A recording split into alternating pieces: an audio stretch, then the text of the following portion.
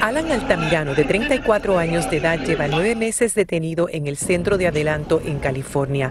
Hace una semana pasó tres días en cuidados intensivos en un hospital local por una condición cardíaca.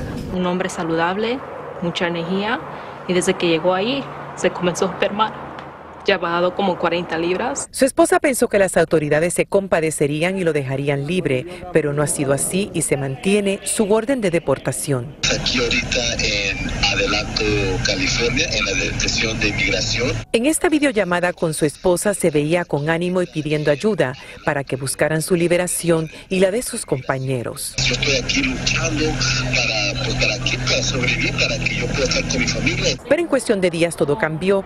Inexplicablemente para la familia, su salud se deterioró. Cuando yo hablé con él, él solo me dijo, te amo, dale besos a los hijos, ya no te puedo decir nada más.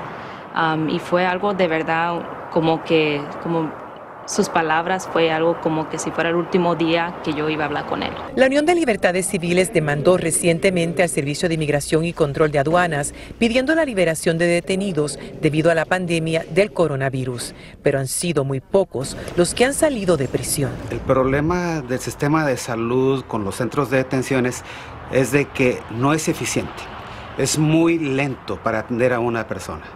Alguien se está sintiendo mal, escribe un documento para pedir ayuda y a veces tarda una semana, dos semanas y en algunos casos no le responden.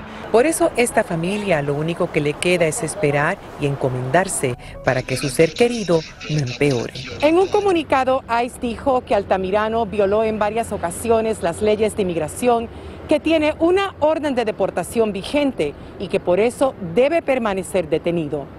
Desde Los Ángeles, Paula Rosado, primer impacto.